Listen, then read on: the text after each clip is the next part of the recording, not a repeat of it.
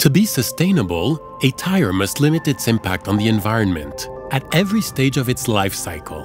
During its design, in the choice of raw materials, during its production, during its transport, when it is used, and even at the end of its life.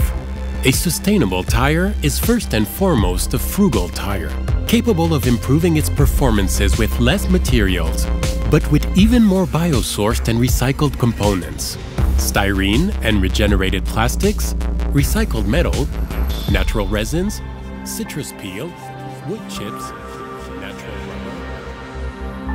Its production must also weigh less on the environment, emitting less CO2.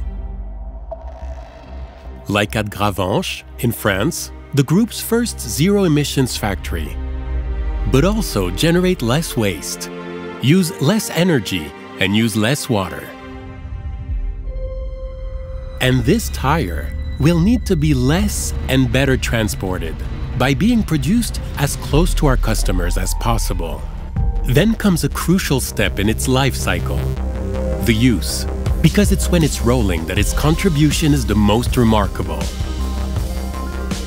Throughout its life, its low rolling resistance must allow for reducing fuel consumption and thus CO2 emissions, in order to prevent having to be replaced too quickly, it must remain safe and high performing from the first to the last mile.